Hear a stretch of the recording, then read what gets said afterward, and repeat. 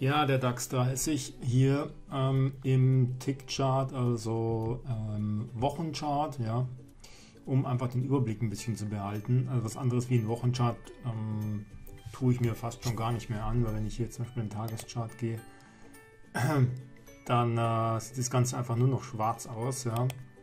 Man möchte dann einfach an, an sozusagen noch davonlaufen.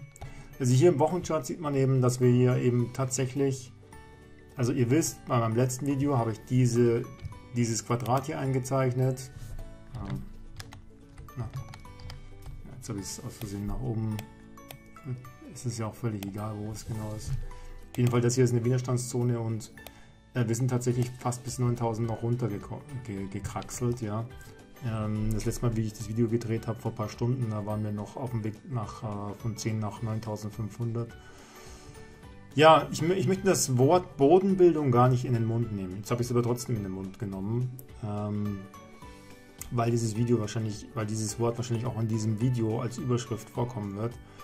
Ich bin, obwohl es hier eine relativ massive Widerstandszone gibt, ja, da mag mir jeder Charttechniker beipflichten, der, die über letztendlich hier von 2013 bis ähm, 2015, also über über ein Jahr hinweg und dann hier nochmals über ein Jahr hinweg sozusagen ähm, sich hier entwickelt hat.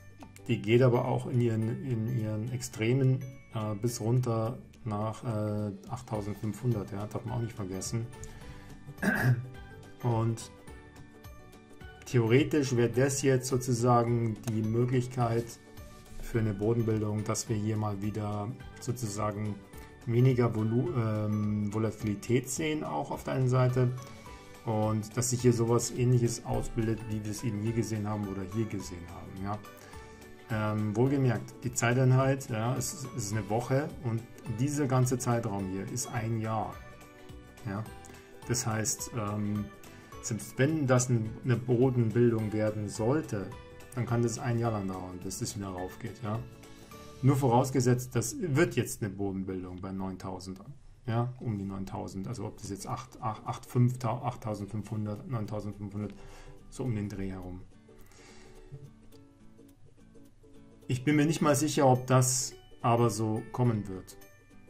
Ich sehe einfach viel zu viele Dinge ähm, im System und ähm, die einfach überhaupt gar nicht stimmen, schon eine ganze Zeit lang nicht und das entlädt sich eben jetzt. Ich sehe zum Beispiel auch ähm, den letzten Bericht von einem Experten, den Florian Homm, der sich natürlich hier äh, jahrzehntelang schon beschäftigt hat mit diesen äh, Branchen wie jetzt äh, Ölbranche und das alles. Ja, eine der mächtigsten Branchen überhaupt nach wie vor. Ich habe mich heute erst wieder mit einem unterhalten aus, dem, aus der Autobranche, längeres Gespräch geführt den werde ich demnächst auch im Podcast vorstellen. Also ich werde jetzt auch einen Podcast machen. Und der hat mir gesagt, also hört, hört euch dann besser in den Podcast an, weil der hat wirklich Ahnung. Und der, ähm, das ist der Alexander Unverdorben. Und ähm, der, der sagt, dass, dass es noch ganz, ganz lange wir vom Öl auch ähm, abhängig sein werden. Selbst ähm, wenn jetzt Autos jetzt halt irgendwie elektrisch werden, teilweise, dann auch nur teilweise. Und diese ganze Landwirtschaft, ja, also die ganzen Dieselmotoren, im, die wir überall sonst noch verwenden, ja, das, das wird noch lange, lange, lange werden wir Diesel brauchen. Also von daher, ähm, ja, wahrscheinlich auch dann nochmal ein anderes Thema. Also ich bin auch jetzt äh, im Kopf, äh, ganz ehrlich, ein bisschen äh, gestresst durch die ganzen Geschehnisse, weil ich habe ja auch noch andere Sachen, die ich mache, ja, also mich äh, mit Börsen zu, zu, beschäftigen den ganzen Tag. Ähm, und ich habe auch keine, keine, kein Team von Leuten, die für mich das tun. Ja, also das muss ich alles selber machen. Ich sehe hier auf jeden Fall diese, diese drei Stufen, die ich auch heute Vormittag schon äh, eingezeichnet habe oder heute Nachmittag. Ja, das heißt, ich wäre mir mal nicht ganz so sicher, ob das jetzt tatsächlich dann letztendlich wieder so eine Bodenbildung wird wie hier. Ähm, ich würde sagen, die Chancen stehen eventuell 50-50, aber im besten Falle. Ähm, denn das, was, was, was jetzt alles passiert, hat eventuell noch weitreichendere Folgen. Ja? ich verlinke euch ja mal das letzte Video von Florian Homm unten nochmal, wo er auch gesagt hat, es sind ja irgendwie 13 Prozent sämtlicher Anleihe, des, des, gesamten Anleihemarktes ähm, ist gefährdet, allein schon, wenn die Fracking-Industrie pleite geht. Oder ein Teil davon. Ja, was ja letztendlich das Ziel von diesem ganzen Ölkrieg jetzt ist. Ja. Und dass da eine strategische Komponente dahinter ist, ähm, das, da brauchen wir uns keine Frage stellen, ob das so ist. Das ist immer so. Also äh, Strategie ist immer mit dem Spiel. Ja? Selbst wenn dich deine, deine, ähm, selbst wenn dein Kollege deinem Chef in den Arsch reinkriecht, ja, äh, weil er vielleicht deinen Job will, dann ist da auch Strategie dahinter. Ja? Hinter allem ist Strategie. Und das hat nichts mit Verschwörungstheorien zu tun, ähm, dass, dass sich ähm, Russland mit China relativ gut versteht, ist ja auch kein Geheimnis zum Beispiel. Ja? Also die wollen ja ihre eigene Börse machen, ihre eigene Währung machen am liebsten, äh, kaufen ja schon seit Ewigkeiten Gold auf in Massen, äh, um, das, um das vielleicht das als Fundament dann zu nutzen. Das sind ja alles keine, keine, kein, äh, kein, ist alles kein Spuk oder so. Ja? Das, ist ja, das ist ja Realität und das ist ja, ähm, ja ähm, letztendlich auch letztendlich relativ logisch auch, ja. Hm. Ähm, bei, bei, den ganzen Aggressionen, die da halt auch stattgefunden haben in die Richtung. Ja, in den letzten, also ich erinnere mich immer nur an die Freundin, die ich hatte von Donetsk, ja, und die Stadt gab es dann plötzlich nicht mehr. Ja, ja okay, auf jeden Fall. Ähm, wir könnten hier jetzt einfach hier nochmal schauen, also während wir uns hier unterhalten, ähm, kriegt der DAX in Richtung 9000 sozusagen eine technische Gegenreaktion wäre die eigentlich logische Schlussfolgerung bezüglich der Charttechnik hier. Ja. Ähm, ich bin mir nicht mal sicher, ob die kommen wird, denn die haben wir hier schon erwartet, die haben wir hier schon erwartet und äh, ist kaum was passiert. Ja. Und von daher, äh, ich habe heute ein leichtes Plus, äh, weil ich eben im DAX Short gegangen bin mit, mit also den habe ich die Position, die ich schon hatte, habe ich nochmal ausgebaut. Mein, mein Volavix äh, entwickelt sich prima, ja, ähm, sind zwar nur ein paar hundert Euro, aber hat sich mehr als verdoppelt. Ähm, also, dass ich wenigstens, ich bin jetzt so aufgestellt, dass ich wenigstens keine Verluste mehr mache, wenn das Ding nochmal 1000 oder 2000 Punkte runterläuft. Ja, und wenn es eben wieder rauf geht, dann mache ich auch keine Verluste oder Gewinne. Ja, so lange, bis sich das Ganze halt äh, wieder ein bisschen beruhigt hat und ähm, also wenn es jetzt weiter runter geht, mache ich vielleicht sogar leichte Gewinne. Ähm, Wenn es dann wieder raufgehen soll, dann muss ich halt meine Short-Position auflösen.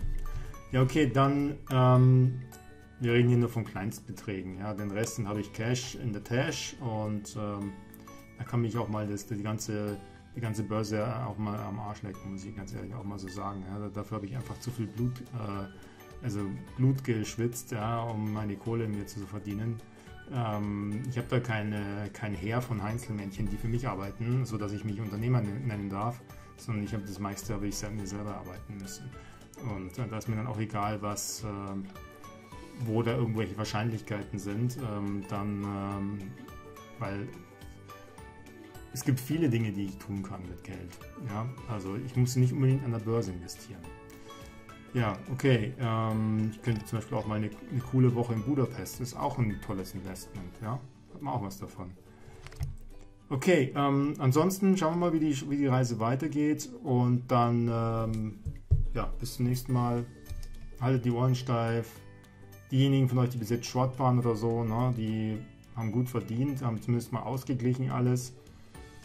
Diejenigen, die Buy and Hold sind, ich wünsche euch ein sehr, sehr gutes Einkommen, einen sehr, sehr guten Cashflow ähm, und dass der nicht wegbricht. Ja? Nicht, dass ihr jetzt hier so fleißig Buy and Hold gemacht habt, ja, auf äh, einer Basiskalkulation, dass ihr immer wieder schön nachkauft. Und plötzlich gibt es irgendwie dann Abschwünge, Rezessionen oder sonstigen Fällefanz. Und diese Cashflows, die ihr habt, fallen dann plötzlich weg, weil die Leute keine Kohle mehr haben. Tja, dann bist du Buy and Hold, dann sind die Kurse am Boden und du könntest richtig schön einkaufen, hast aber dann keinen Cashflow mehr und muss dann vielleicht sogar eventuell wieder verkaufen. Also ich, also ich weiß nicht, wer hat, also Cash ist auch nicht immer was, was sozusagen einfach selbstverständlich immer wieder fließt. Ja, selbst für Immobilieninvestoren äh, mit Miete und so weiter. Auch da könnte es mal Probleme geben. Die sind vielleicht noch am safesten, aber es kommt auch wieder darauf an, wo du bist. Also das ist jetzt auch, was ich noch abschließend sagen möchte, das ist auch keine Korrektur mehr. Korrektur war alles bis, bis 11.500, ja, bis 11.000 noch. Das war alles Korrektur. Das ist mittlerweile keine Korrektur mehr, ja. Das ist ein, das ist ein fucking Crash, ja. Und ähm, deswegen habe ich auch teilweise meine Meinungen geändert. Ja, bis vor ein, zwei Wochen war das noch eine Korrektur, jetzt ist es aber definitiv ein Crash. Und da mache ich andere Dinge als wie eine Korrektur. Meine Meinung dazu. Also bis zum nächsten Mal. Tschüss.